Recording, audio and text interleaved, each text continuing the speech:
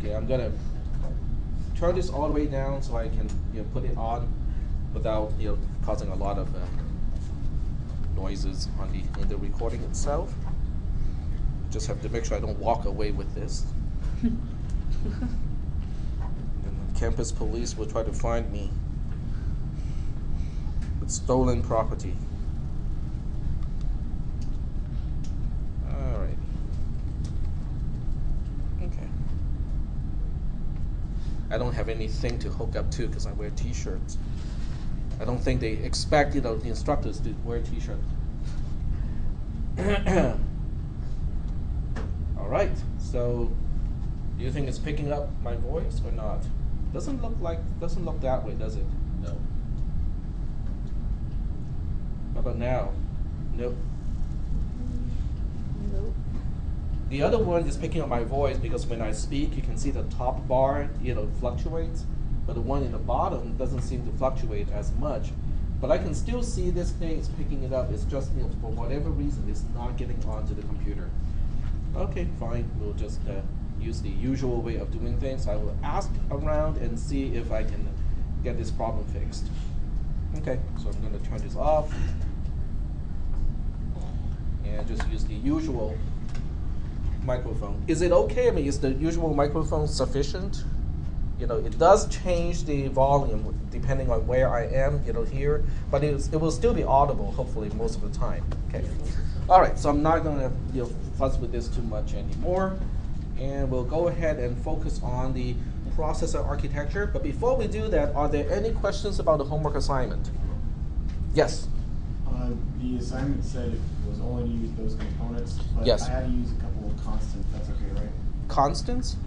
Yeah, just so that Inside the ROM, you can use constants, but not outside. You don't need any constants outside of the But you need to have like a one coming in so it will uh, use the um, register, correct? A one coming in. You're right. Yep, yep. You need a one over there. Yep, Okay. yep. All right. Um, any other questions? Okay, so one hint is the output of the ROM does not need to only go to the LED, it can go to other components as well. Okay, so that's a big clue of how to do the, uh, how to reset you know, the whole thing so it start from zero again. Okay, so I hope you guys would kind of get that clue because it's kind of important to kind of figure out the solution by yourselves or as, as much as possible. That's it, that's, that's the learning experience. That's how we learn how to do this type of thing uh, in this class. All right, so this is a picture of the processor, pretty much done, and you can use this to help inspire your music box um, homework assignment. Okay, you know this is already published, um, and I I have no attempt to hide this particular design. So for those of you who want to take a look at this one and go like, well, can I borrow anything from this particular design? You can go ahead and study it and borrow designs from this particular thing, which is an entire processor. So what we'll do today is we'll start to introduce components of this entire design, and we'll talk about the various components by themselves, and then we'll focus on you know how do how they're connected and how they function as a whole. In other words, what we are doing now is we are piece by piece, we're trying to study and, and analyze the components inside a processor and figure out okay how do they work together. Are there any questions at this point about, you know, where we are, you know, kind of in a general roadmap, you know, how this relates to other things that we have talked about so far? Okay, no questions? All right, so if there are no questions, what we'll do is we'll go ahead and start up um, okay, and then we'll just take a look in Logisim of the various components that we'll be using. Um, so we'll go ahead and start up Logisim.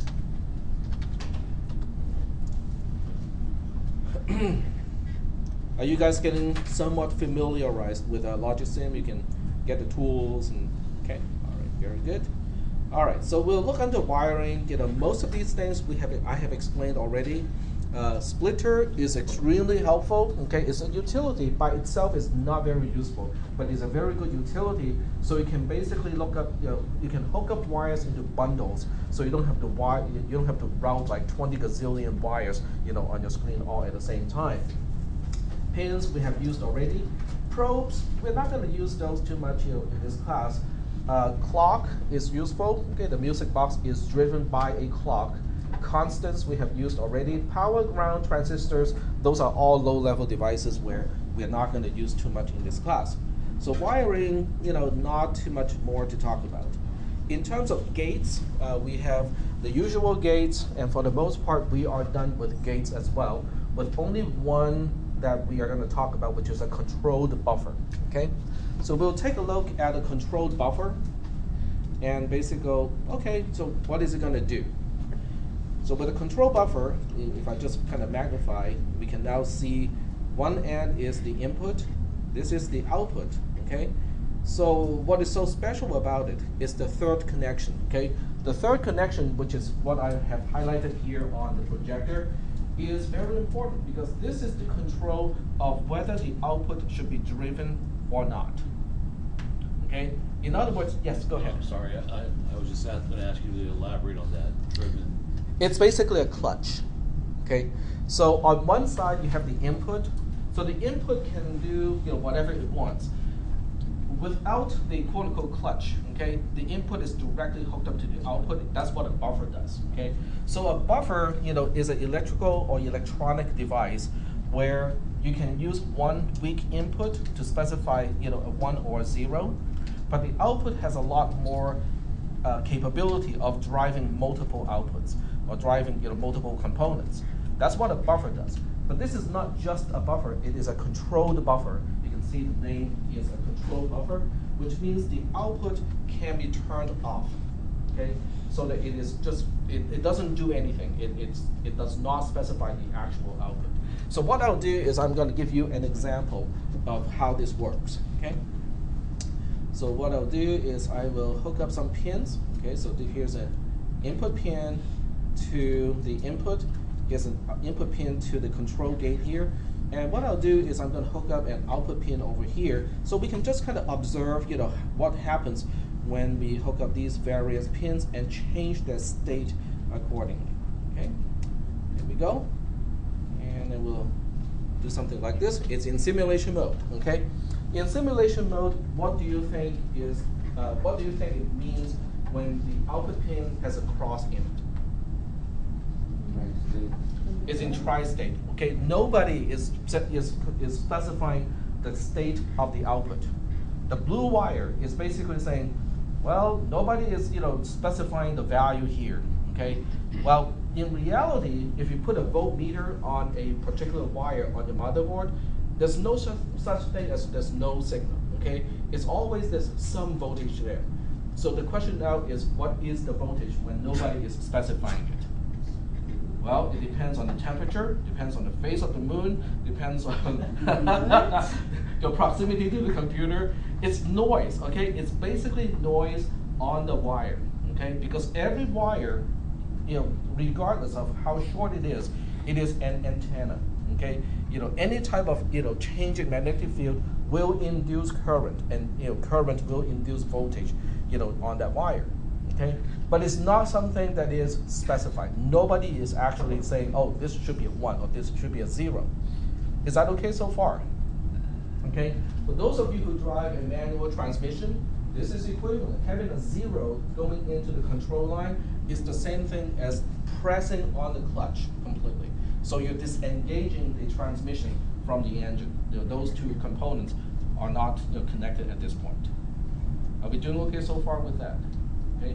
Or if you drive an automatic transmission, put it into neutral. This is the same thing as putting it into neutral. So you can rev the engine all you want on this side, nothing's going to happen on the other side because they're not hooked up. Are we doing okay so far with that analogy? Okay. So the control signal is your shifter. Okay. So what if I shift it and you know, put it into D for automatic transmission or put it into first? Then suddenly they're connected. Okay? This is the same thing as releasing the clutch pedal on a manual transmission or putting your car into D or R. Okay, so now the engine is connected to the drive shaft.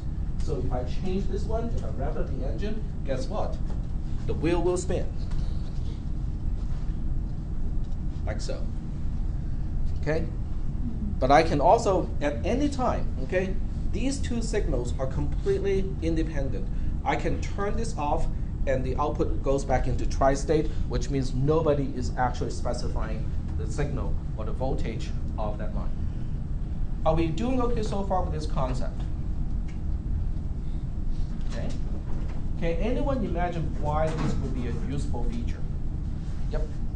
I wanted to make, I wanted to have a feature like this a couple times when I was working on the, some of the, uh, the adders. Just because Okay. when you're trying to make something, instead of like a not and gate or something, when you have a, um, as soon as you have this, you can have it, so, um, when you have, I had it with the, the and gate, I kept wanting to, just instead of having a mess of wires, if I just had one that would branch off and turn another one off. Well, it's not turning it off, it's basically not driving or not specifying the output, which is not the same thing as turning it off. So with, with the adder and the subtractor, you do not need this construct. What you do need, when you do need this construct is when you deal with uh, RAM, RAM, you know, with uh, read, uh, read, uh, random access memory. Because when you have re- random access memory, remember the, the data bus? Who's driving the data bus? CPU. Well, it depends, right? If you're writing to RAM, then the CPU, CPU will drive the data bus. But when you're reading from RAM, the RAM chip itself is driving the data bus. Okay? But you don't want both components to be driving the bus at the same time because that ends up with a what? Bus fight.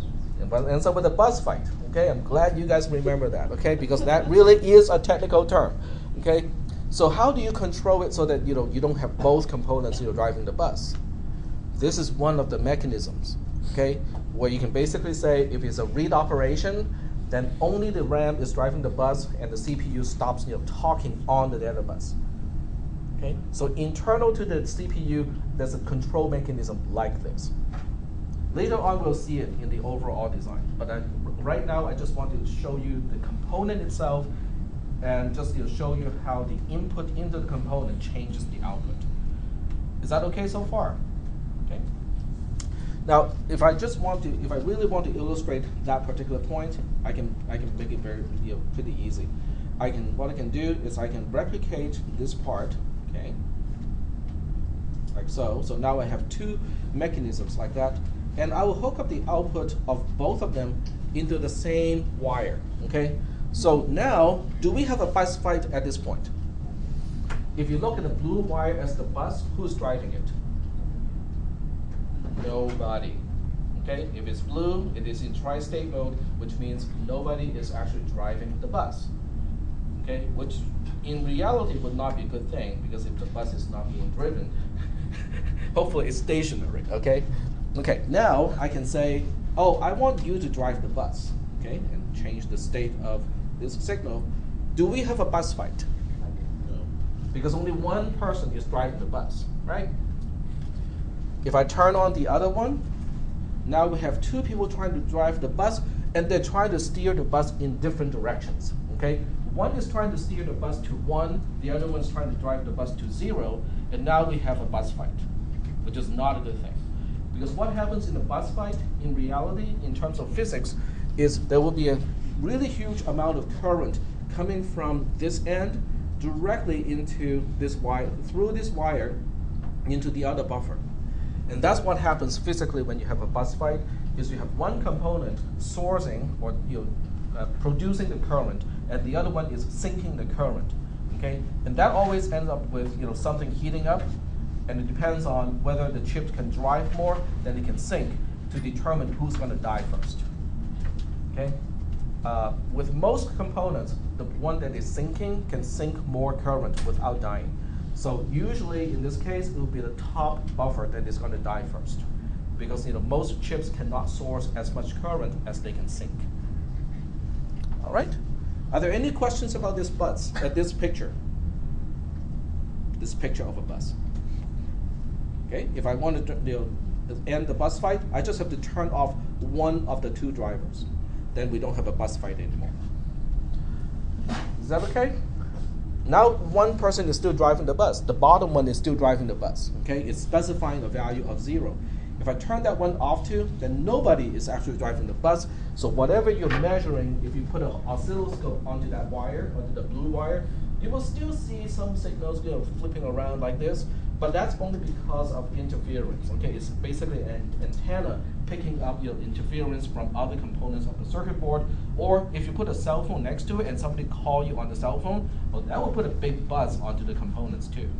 Okay, but nonetheless, it is not your own circuit trying to specify what voltage you know that line should have. Are we doing okay so far with this picture? Is that okay? All right. If this is okay, we'll move on to talk about another component that is really helpful, but it's not a.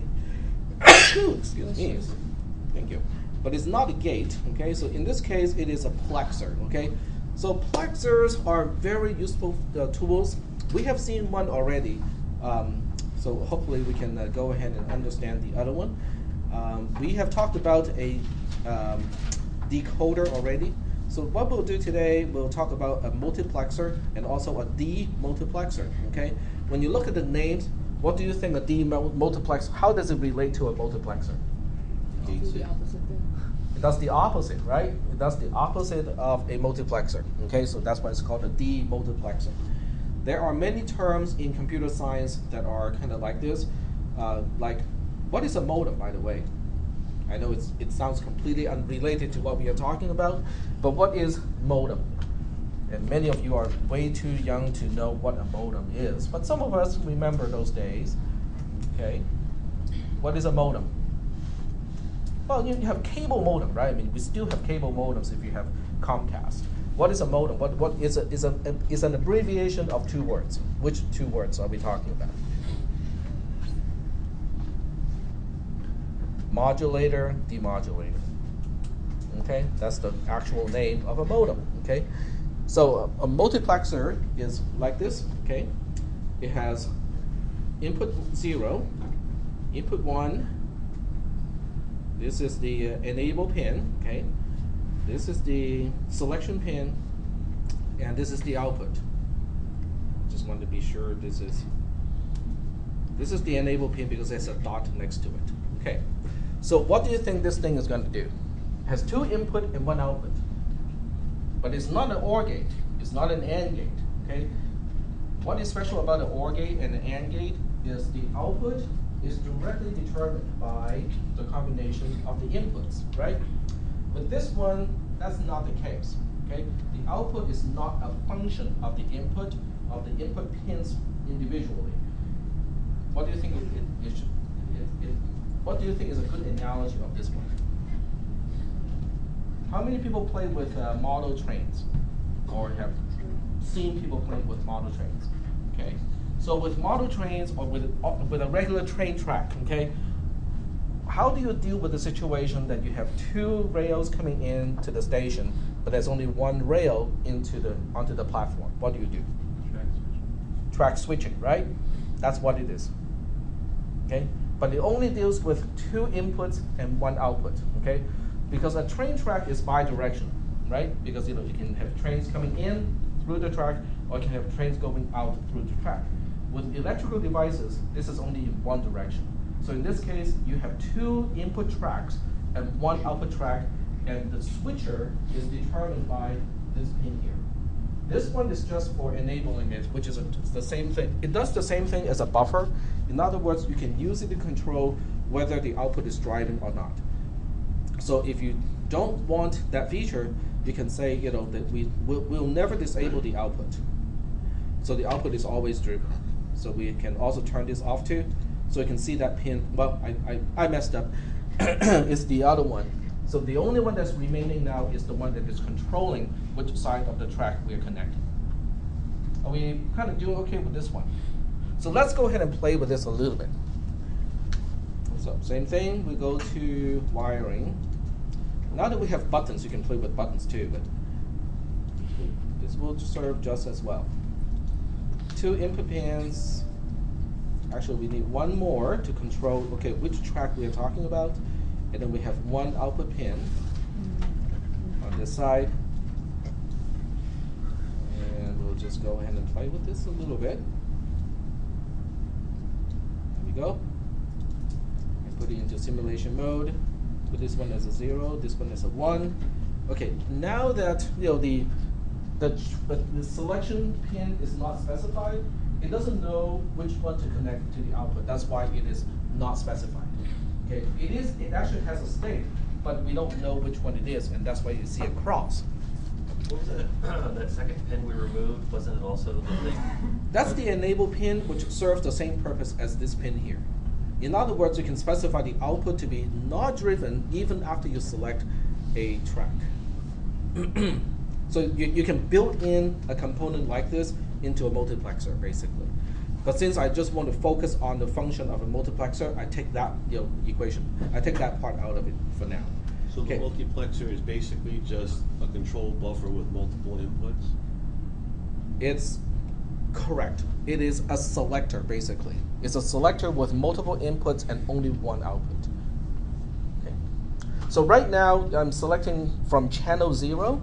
So this zero is now matched with this pin here because when you when you hover over this pin, it says know input zero. Now, what makes this more fun is when you have multiple um, tracks, because you know the input can be multiple, can have deal with can deal with multiple inputs. So if I look at this one, I can say data bits. We can increase it to four. Okay. Now that would also mess up the thing because now we need four wires going to input zero and four wires going to input one.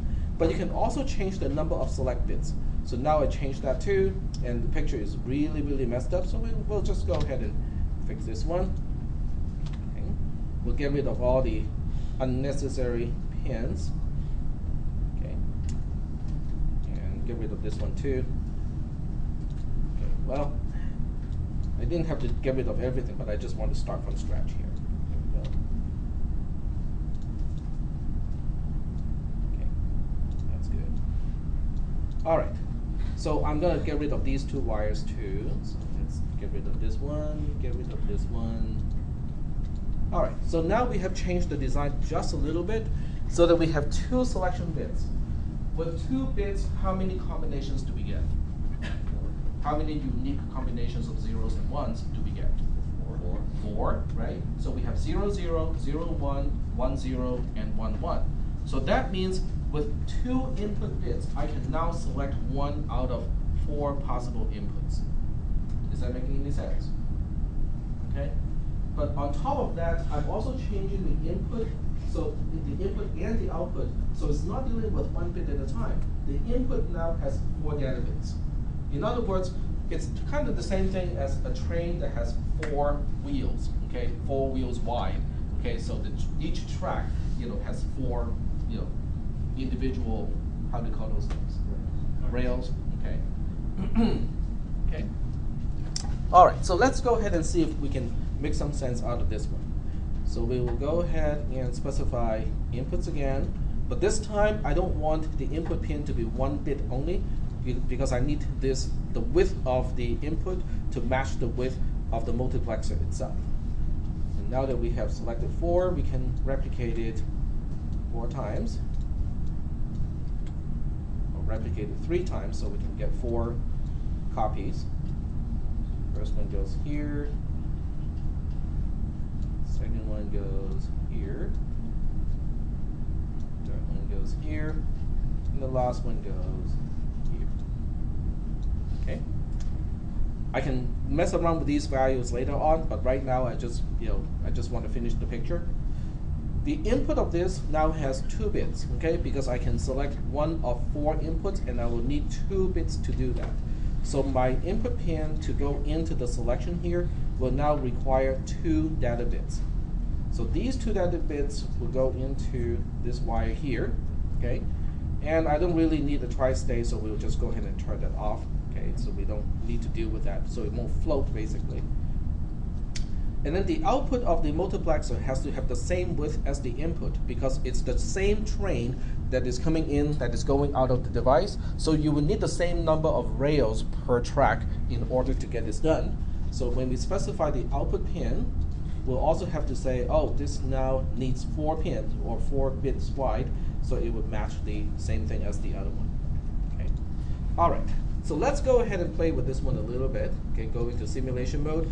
And I don't want to use, you know, 0, 0, 0, 0, 0, 0, 0, 1, and so on. So we'll randomly pick some values over here that are not the usual, you know, numbers that we expect, you know, for stuff like that. Okay.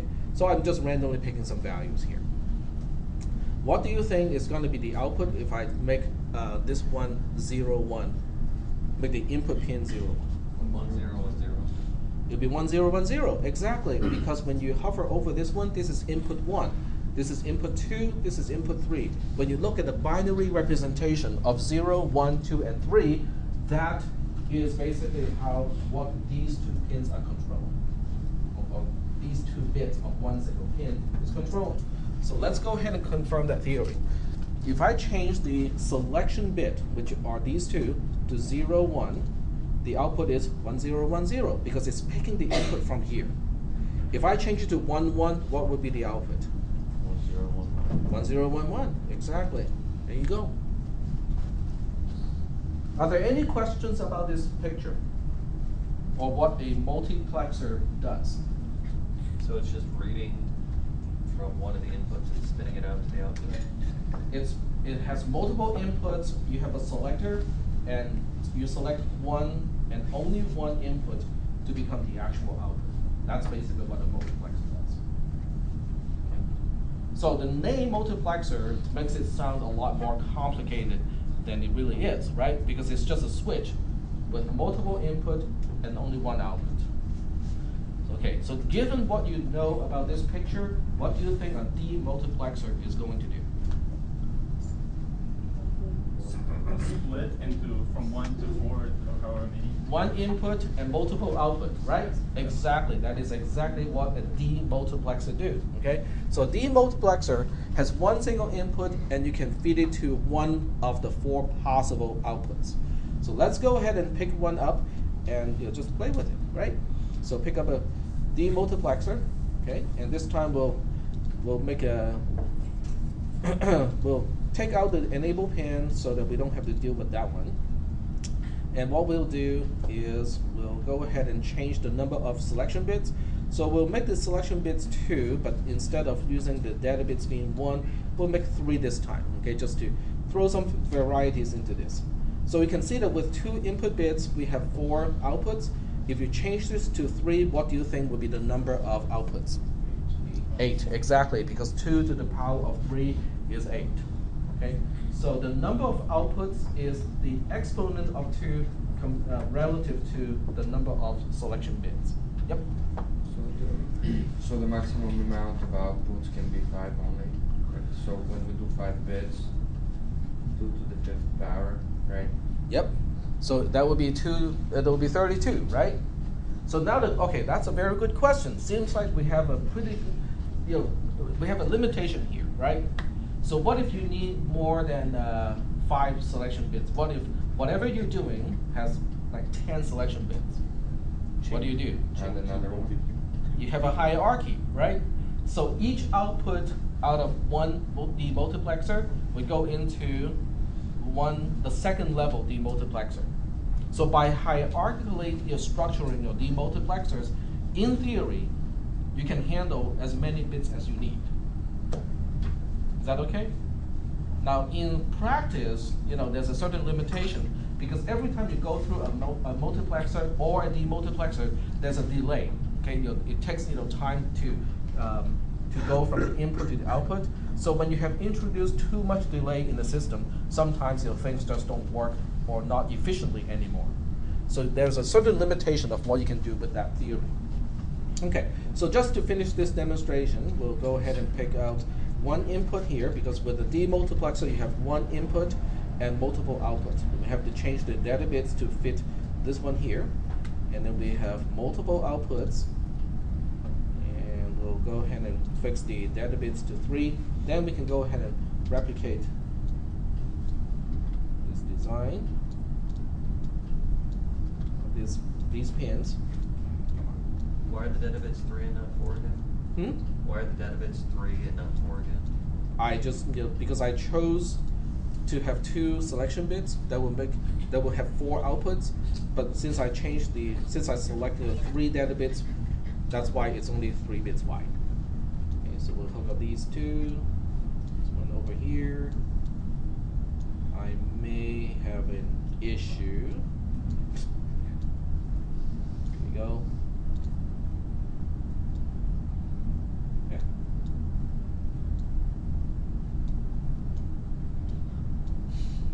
Like it, does it? Fine.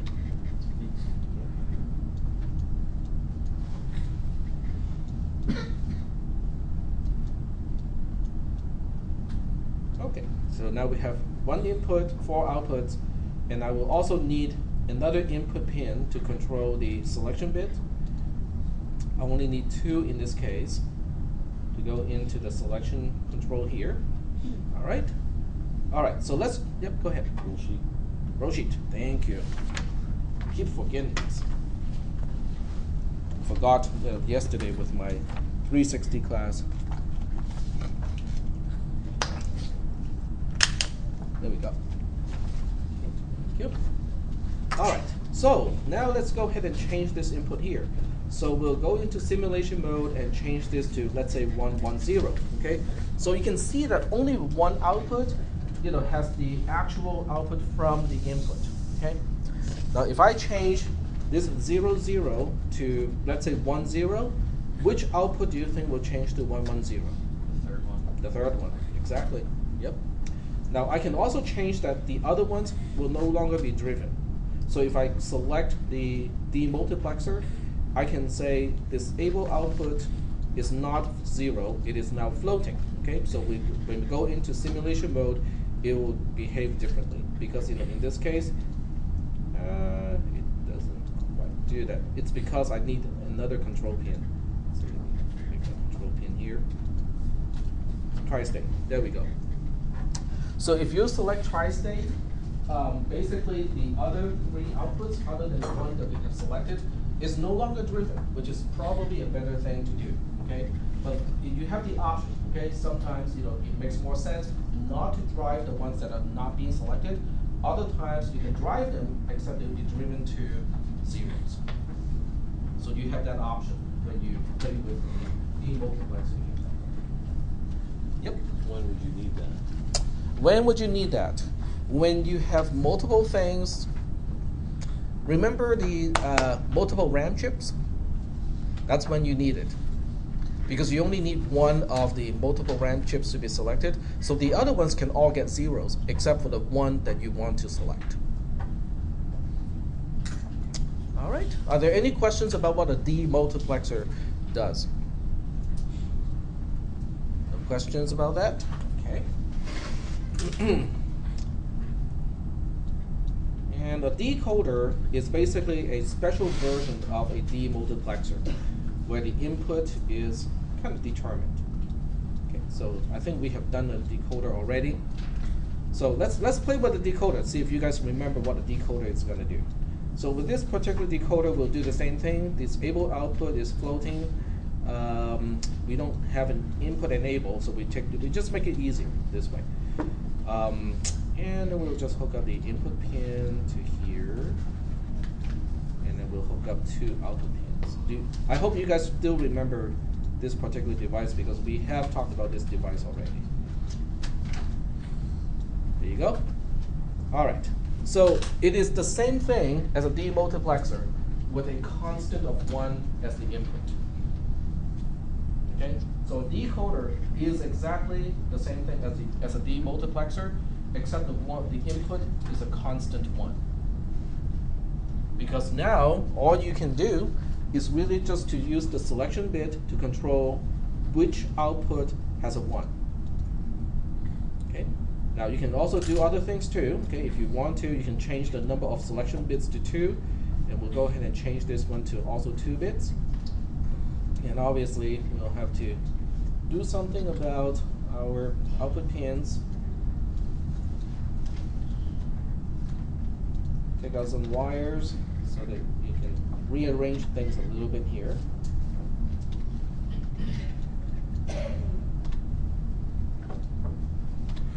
This kind of simulation software, you know, was not available. Oh, okay, there are too many. Okay, Just want to get rid of the wire, right? There we go. One more. All right. It doesn't line up.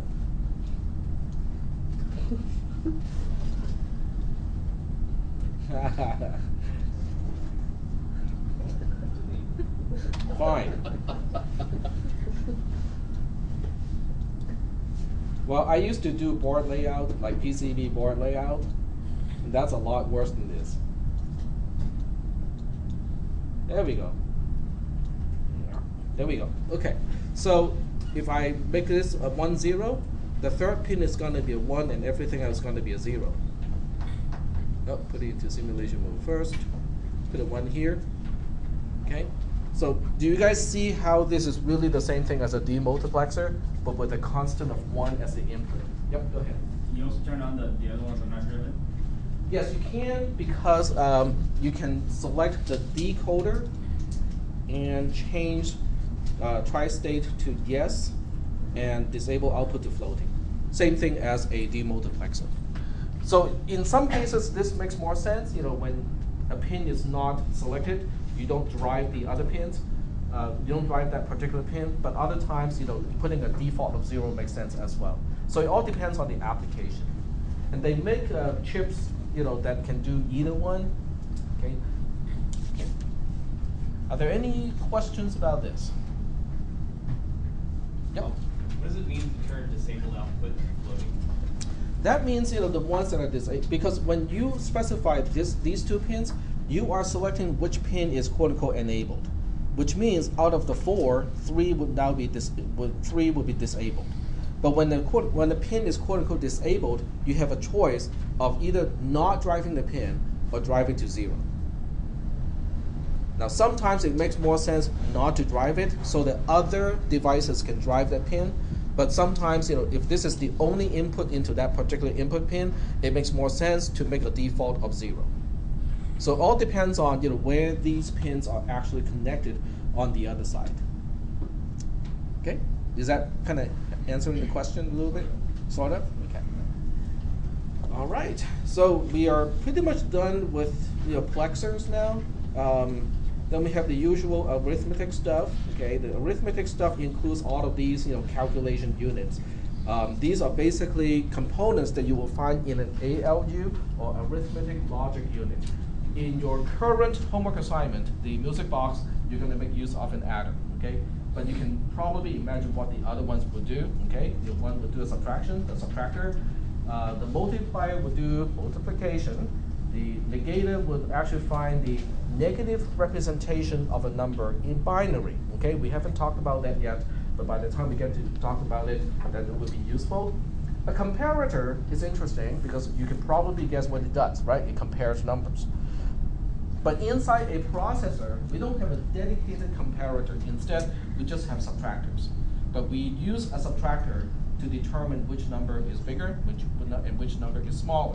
By the time we get to that part, I'll explain how, how it works. Okay? But most processors do not have a comparator as, an, as a hardware component. It just uses a subtractor to do the job of comparing. Okay? Um, and then we have you know, some really useful ones too. Okay, a shifter is useful. Okay, because it cannot shifting to the left is easy to do because you can just add a number to itself to double. Okay, that's shifting to the left.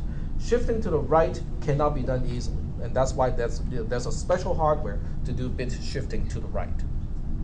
Does everybody understand what I mean by shifting to the left can be done by a single addition? If you look at your C code, okay, hopefully you still remember in C how to do bit shifting. Okay. So assuming x is an integer, shifting to the left by one bit is really the same thing as x plus x, or x times 2. Is that making any sense? Okay, doubling a value will basically be putting an extra zero, padding a zero to the least significant bit, and shift all the other bits to the left-hand side. So that's why, you know, there's, in, in terms of shifting, you usually only need a right shifter, but not a left shifter, because a left shifting can be done by addition. All right. Are there any questions about uh, arithmetic operators? The other ones we're not going to use, like a bit finder. You know, we are not going to use it. Uh, we talked about memory already, particularly RAM and ROM, and also register. Okay, you, do you guys still remember register that you're going to have to use in your music box? Okay, and also ROM. You know, that also, that's also something you need to use in your music box. Um, that's it. Those are all the basic components that we need to use when you, we are dealing with the processor. Are there any questions at this point? No questions at, at this point? So what we'll do next is we'll focus on one of the components inside the processor and we'll just take a look at the implementation of that component. Okay? The music box homework assignment is related to the microcode engine of your processor. So we'll defer the discussion of that one until your homework assignment is due. Instead, what we'll do is we'll now focus on the ALU, the arithmetic and logic unit. Okay, so we'll go ahead and take a look at the ALU, which is, by the way, let me just point out where the design is. The ALU is this component over here. Okay, when you open up the entire you know, design, this is the ALU. When you double click on it, it will show you the actual details of the ALU.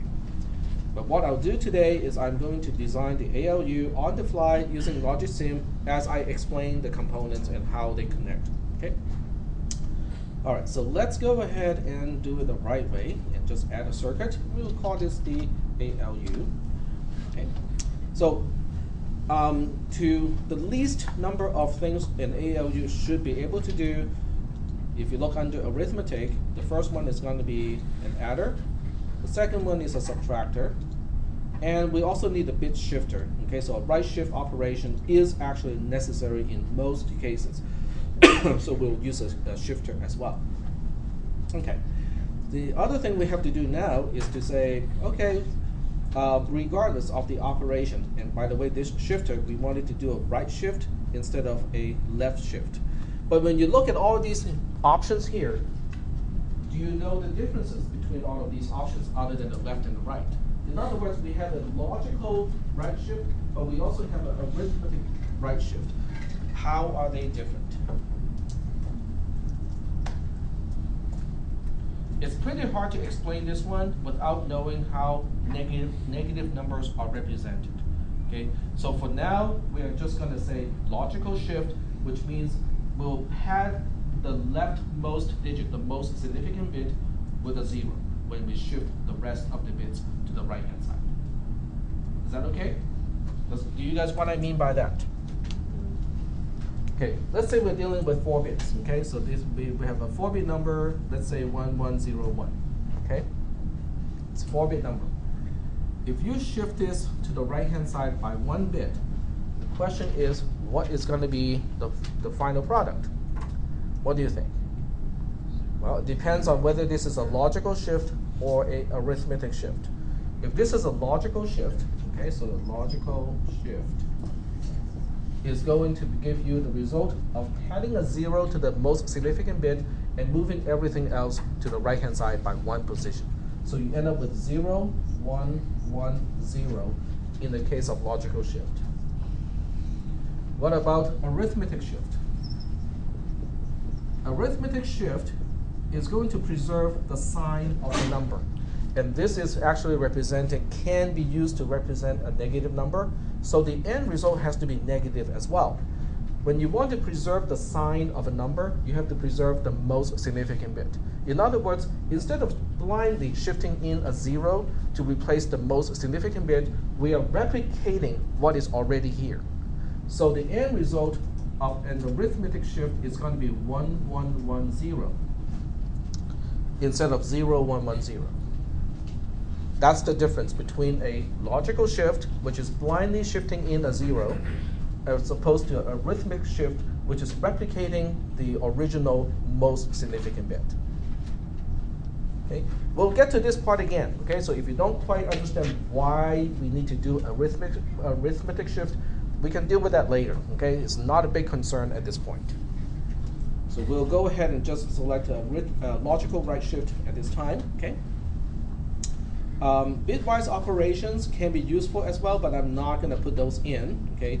In other words, you know, bitwise and bitwise or, you know, those things can be done using our usual uh, gates here. Okay, so you can specify an AND gate, except you know it has multiple data bits. Instead of one, you can make it so that it fits like 8 bit, 32 bit, and so on. But I'm not going to do that. Okay, I'll just keep the design simple at this point. Okay, so we have three um, possible operations. First one is addition. Second one is uh, subtraction. Third one is a shift operation. So how do we specify the numbers that we are working with here? So assuming, at this point, let's just assume that we don't care about the carry in and the carry out, okay? So the carry in is going to be a zero all the time, the borrow in is going to be a zero all the time, carry out and borrow out, we don't really need to connect to anything, okay? So let's deal with that first, okay? We'll, we'll fix those particular constants and say we don't really need those. So we'll put a zero as the input of carry of the adder. And then we'll do the same thing with a subtractor.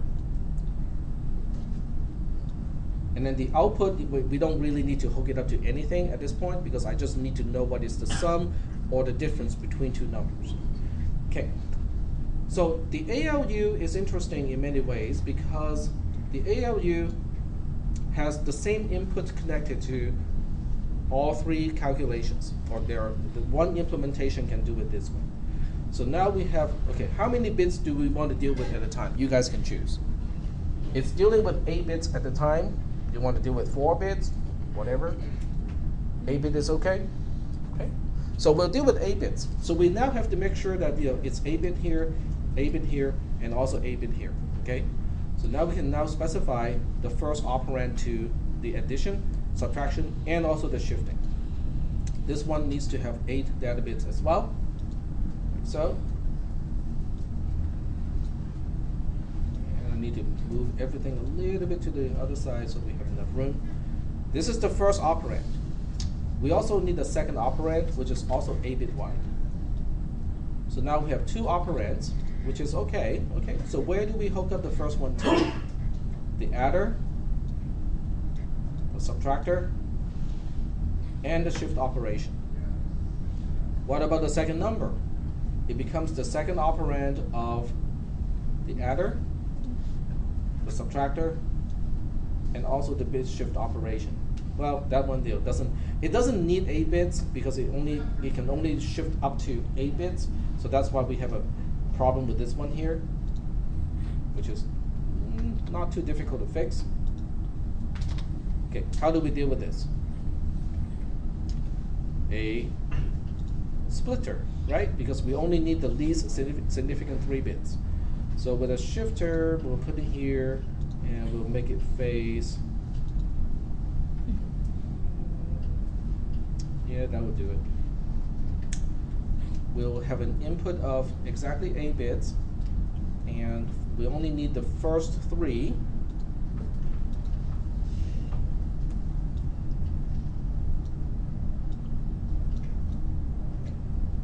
So bit 0 to 2 will go into here. Now everything is good. I'm just tossing away the other bits away because it wouldn't matter anyway. All right. So this means, you know, whenever I pump in those two numbers, all three units will carry out calculations at the same time. But which one is going to be output of this entire ALU? What do we need in this case? We have multiple input merged into one single output. It's a multiplexer. Very good. So when we have something like this, we'll use a multiplexer, which is a plexer. And it is a, oops, plexer, we need a multiplexer with eight, uh, with four selection bits, uh, two, excuse me, two selection bits, even though we only use three of them, we'll leave the fourth one, you know, reserved, we can do other calculations later, okay? Uh, we can specify the output, you know, well, we can do the enable thing, okay, so that's fine. So now we have to hook up, you know, the input or the output out of each calculation uh, mechanism to one of the inputs. So here's one. Oh, I forgot to change this to eight data bits. There we go. The second one goes to the second input here. And the third one goes to the third input here. The fourth one has nothing because I do not have another calculation unit. If I want to, you know, I can, I suppose I can just add something to it. Just for the sake of the argument, I'm going to do a bitwise AND, okay? So we go to gates, and then we specify a bitwise AND, okay, like so. It, we only need, we will need eight bits, but only two inputs, like so. And we can make it a smaller design, make it a narrow one. And then the same thing, okay? The first number goes to the first input, and then the second number goes to the second input. And I'm just trying to find a way to do it. There we go.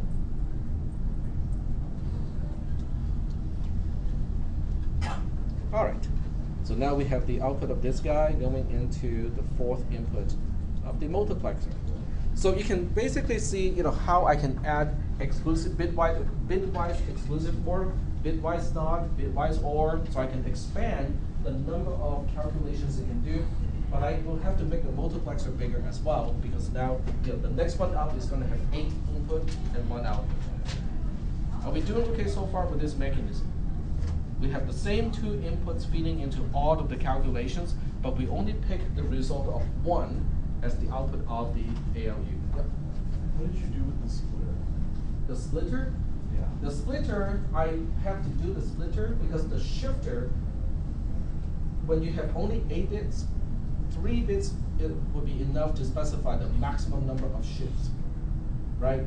So that's why you know, the input into the shifter only has three bits to specify how many bit positions to shift. But because the bus has eight bits, I have to split it into three and five and only feed the three into. The other five I'm just ignoring as far as the bit shifter is concerned. Okay? All right, so now we specify the output of the ALU, you know, using a using output pins to represent it. So the output pin would also have eight data bits. Hook up directly to here. Okay, I'm almost done, not entirely yet. Okay, because what I also need to do is to bring these wires into a two-bit input pin, so that I can select which operation I want to perform.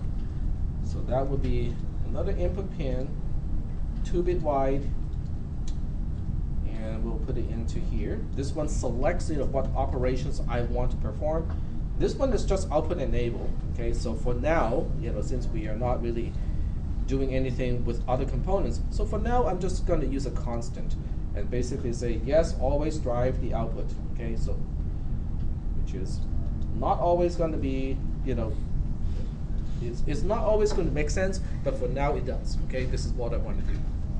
All right. So this is the a very basic, simple ALU that can only perform you know four possible operations. If I want to expand it into eight operations, I can just keep adding more calculation units down here, but then I will also have to change the multiplexer to use a eight input, three selection pin type of multiplexer. But you can kind of see how this can scale up, right? You know, you can just stack on more stuff. Now let's take a look at you know, what we what, what we can do with this, okay? So let's say we want to do a subtraction, okay? I want to subtract 3 from 16, okay?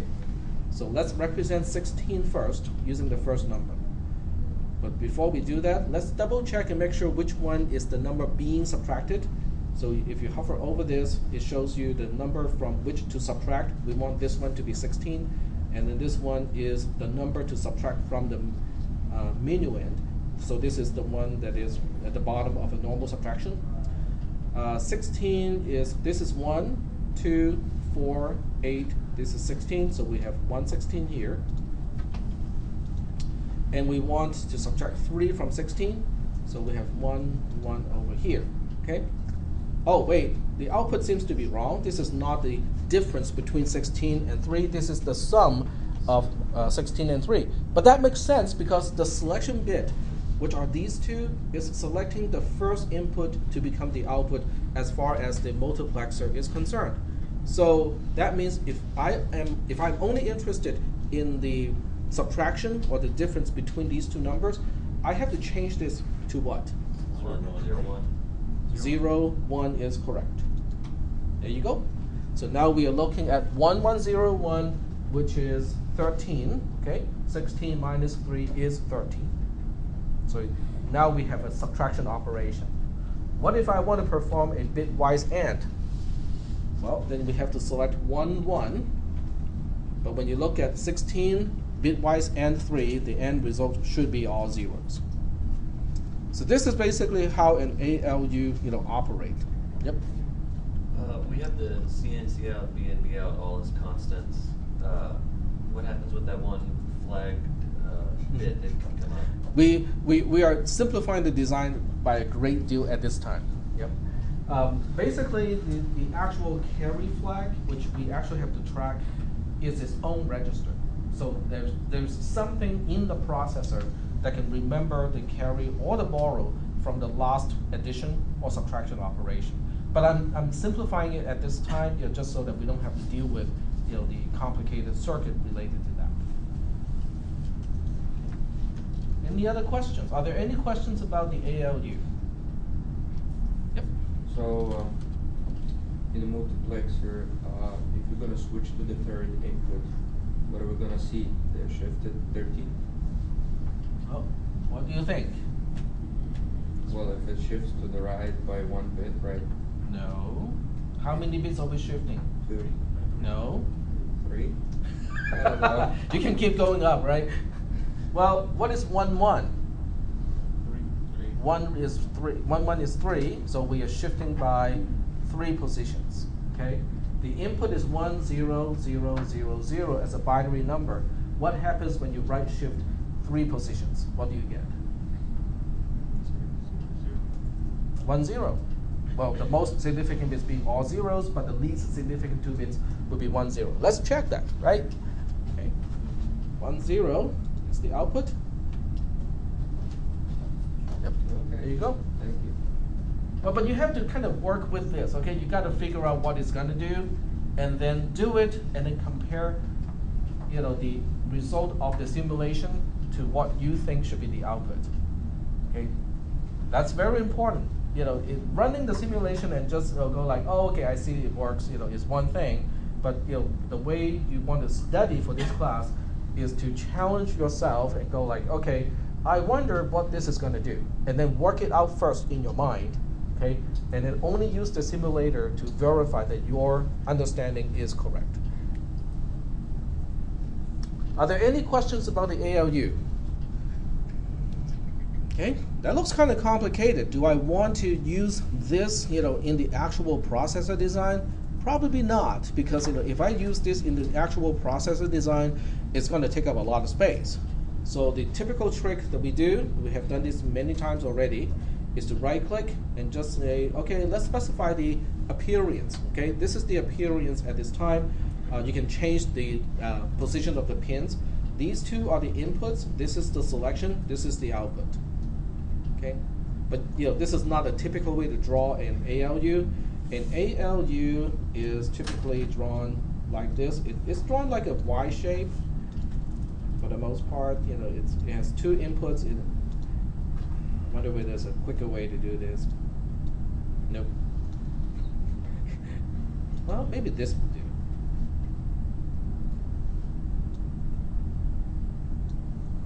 Oh yeah, this will do it. Some of you are better artists than I am. It looks like a t-shirt, but that's how an ALU usually looks like. It's a t-shirt. And then you can move the pins. So you can move one of the input pins. Now this is the nice fe- nice feature in case you have not noticed.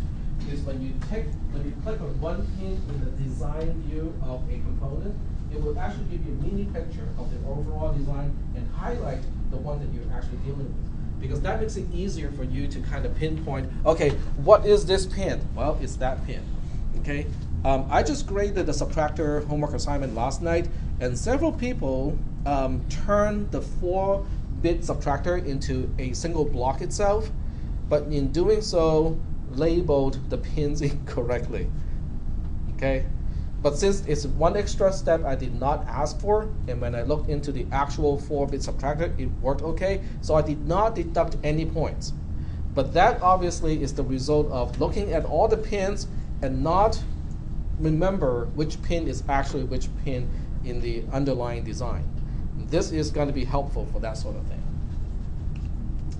So what I'll do is I'm going to drag this one over here.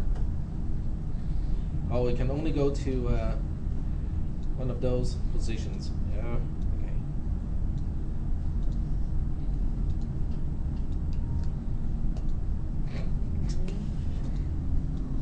Why did they draw it that way? Hmm. Why is the ALU drawn like a? Uh, because it's kind of uh, doing the this thing. You know, it has two inputs and one output.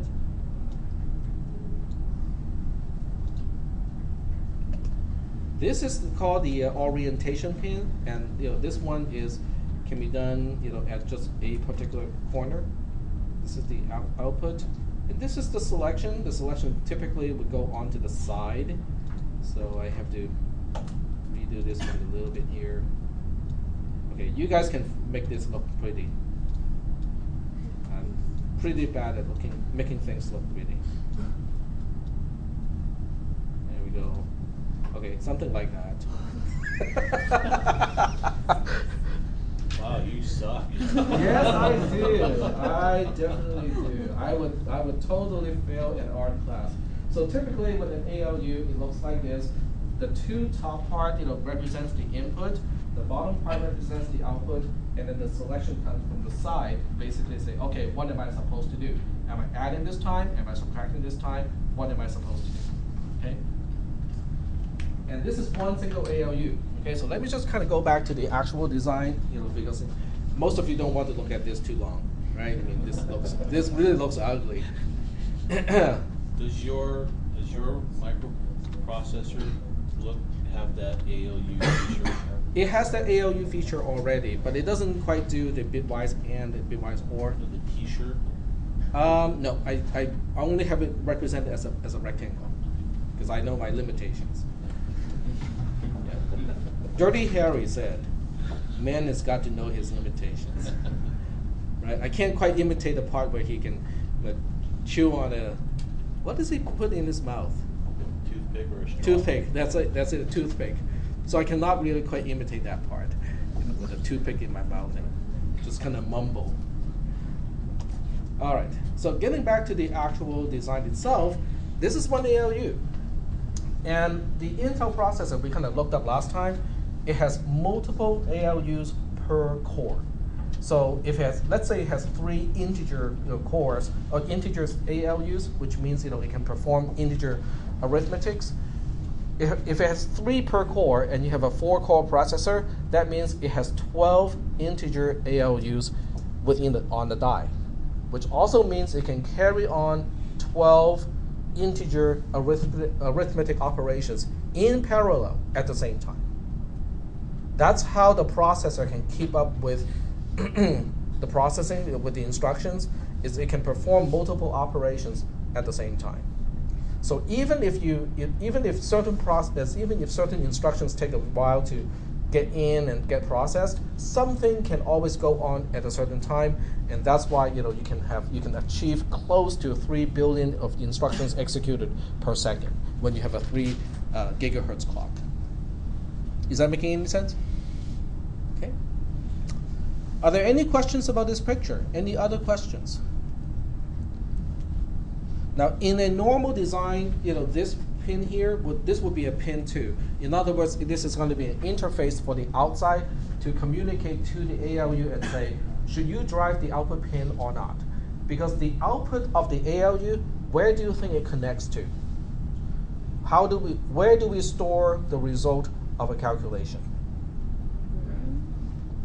Into memory, okay, so that's one place to go. What, do you, do you, can, can you think of another place where we want to store the result of a calculation? Remember the analogy. Storing into RAM is to go from this room carrying a single piece of paper with, with a result to the library, second floor. Okay? So most of the time you don't want to run all the way to the library. Where do you want to go? Register, exactly. So, so the output of this, okay, if you look at the really ugly picture again, this output here usually has a path, one path to go to memory, and one path to go to the register bank. Not going to a single register, but a register bank, okay?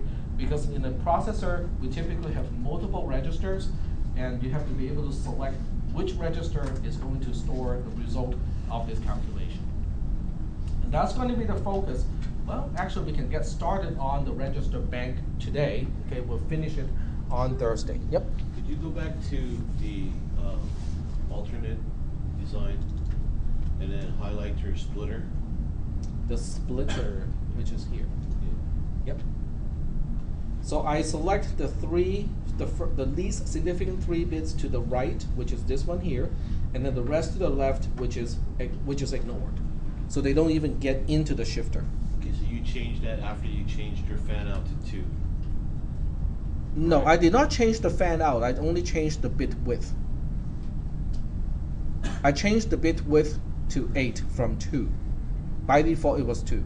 Okay, so when you changed it to eight, shouldn't it have been four and four?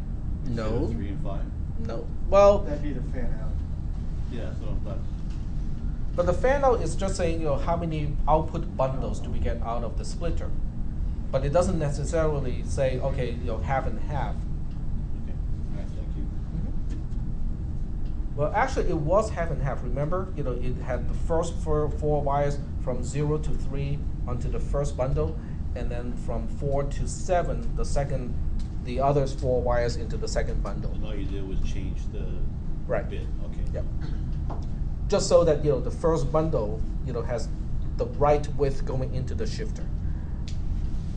Yep. Oh, I still don't understand the shifter uh, operator. The shift operation. Yeah. The second number, okay, the first number is the one being shifted. Okay, this is the one that has all the bits being shuffled. This one specified how many positions are we shifting. Oh, So one one is three, so that means we are shifting to the right hand side by three bits. If you want, you know, left shift to be done quickly, you can also use a left shifter. So most ALUs have more components than we have here. Okay, so I'll just actually I'll, I'll just go ahead and expand on that one. So most you know ALUs would have you know at least you know three input bits, you know, and it will have more operations that you can specify. For instance, in terms of gates, okay, so normally you also want to do a bitwise OR gate here. You also want to do a bitwise NOT gate. So we select uh, bitwise NOT. You also want to do a bitwise exclusive OR sometimes, okay, not all the time. And then with uh, arithmetic operations, um, most modern processors can also do multiplier in, in the hardware and also a divider in the hardware. So that's why you know this is a way simplified design, you know, the way it is. But I just want to illustrate the concept of an ALU. Okay. A multiplier is a, actually a pretty com- a divider and multipliers are complex designs. So when you are when you're dealing with a design that you want to be low cost, a lot of times they don't have a hardware multiplier, which means all multiplication must be done in software. So think about what you do normally in multiplication, you have to do it in software instead of doing it in hardware. It will take more time. We have about five, well, not five, we have quite a few minutes left. Let's let's try to do multiplication. See if you guys know how to do multiplication in base two. This is boring because you already know it. Okay, how many people remember how to do multiplication in base 10? Where's my calculator? Where's my TI? Right? You know, I cannot do multiplication without my TI. Okay, let's let's let's check whether you can do it. Okay, 713 times I don't know. Let's pick something easy. 65. Okay, that looks pretty easy to me. Okay, so I know the way I write this may not be the same as how you were taught because you know I was taught in Hong Kong. You know, so the arrangement would be different, but it will still be doing the same thing. Okay, so I was taught to do the six times three here. Okay, and it has a carry of one. Six times one plus one is seven with no carry to the next one. Six times seven is forty-two, so we have four two over here and then we plus the following. This will be three, five times three, which is fifteen, with a carry to this one. Five times one is five, plus one is six, and then this is five times seven, which is thirty-five. And then we add these two numbers. Uh, zero plus five is five. That's four with a carry. That's three with a carry. This is six, and this is four, like so. Okay, so I know, you know this is not typically how you guys write it because I think most people work from the least significant part first. Okay, but that's okay. It's the same idea. Okay, same idea. Do you see a shift operation here? In base 10, not in base 2. Yes, there is one. the first row. This row here. 6 times 713 is 42, 4278. The zero is introduced because of a shift. Okay, because we are multiplying something by 10. In base 10, shifting to the left means multiply by 10. Does that make sense? Okay. Let's do something in base 2 then. Okay, we'll start with something easy. 11011, uh, maybe that, okay? Times 1101, okay? How do you think we deal with this multiplication? If I use the same thing, I'm gonna use, I will deal with the most significant bit first, or the most significant bit, the most significant portion first. So I will put three zeros here, and then what do I put on the left-hand side? First row. the first row. Um, do we have to deal with multiplication? Well, in theory, it is a multiplication, but it's a trivial multiplication. Why do you think this is a trivial multiplication? So it's by one. By one. Oh, great, right? One, one, zero, zero, one. Cool, I'm done with the first row. Uh, what about the second row here? What do we put here?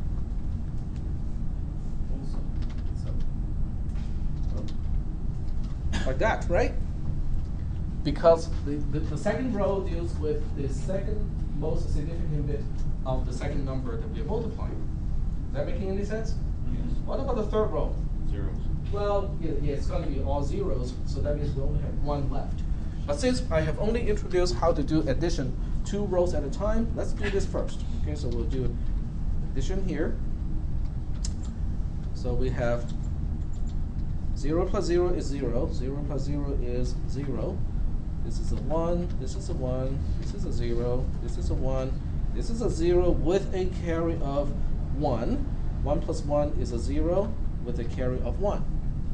Now we deal with this number, but there's nothing to write because 0 times anything is 0. So we only have one of this left with no shifting, right? So we deal with that one, which is 11001. We add these two numbers together. And what do we get? A 1 here, 0 here, whoops. A 1 here, a 0 here, a 0 here, 0 here, a 1 here, a 0 here, and a 1 here. Okay, attack. You just throw, you know, you just threw a whole bunch of zeros and ones on the screen. Nobody knows whether you're correct or not. Well, let's check it. right? You don't trust me. You don't want to trust me. I don't intentionally lie, okay? But sometimes I do the calculations incorrectly. Where's my calculator? I don't have a calculator. Where's my TI?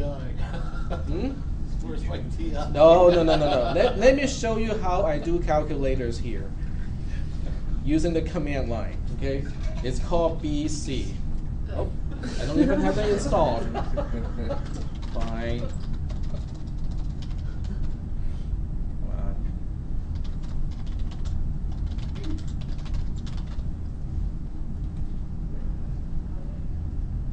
I cannot, I cannot imagine I forgot to install BC.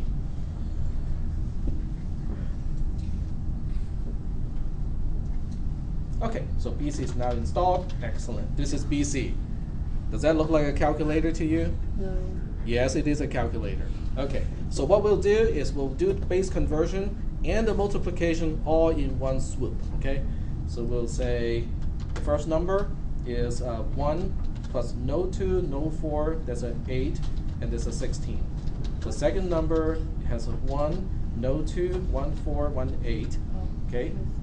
So the end result is 325. How do we know this number is 325 down there? We have 1, 1, no 2, 1, 4, and then we have no 8, no 16, no 32, 164, no 128, and 1 256. That's 325 too. So I just did the verification using BC, which has no innate ability to do base conversion. This is what you should be able to do. Okay, you know, this is not maybe not as quickly, you know, because you know you cannot count the bits as quickly, but that's the way to do it. Okay, because you're just counting: do I have one or zero of each power of two? And just add the numbers, right? So this is a good verification, um, but it, it's not a hundred percent reassurance that I did carry out the calculation correctly. Because all it verified was this number times this number ends up with this number. But the steps in between can still can still have problems. Because if you have two errors that can mask each other out, then it won't show up in the process. Okay? And I'm pretty sure some of you, not all, but some of you might have seen, you know, masking, you know, in your programs in CISP 360, where one particular problem, one flaw of your program is masking something else, so it doesn't show up as a problem. Okay? So I'm just showing you something that looks reasonably correct, but you know, in order to verify all the steps, you really have to carry on the individual steps and double check everything. Are we doing okay so far with this? So this is what software has to do when multiplier is too expensive to implement in silicon, so it's not on die. Okay?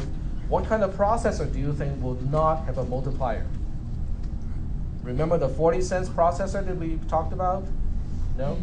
Oh, yeah, Yes? yeah. Yeah. Yeah, that one, that one does not have a hardware multiplier.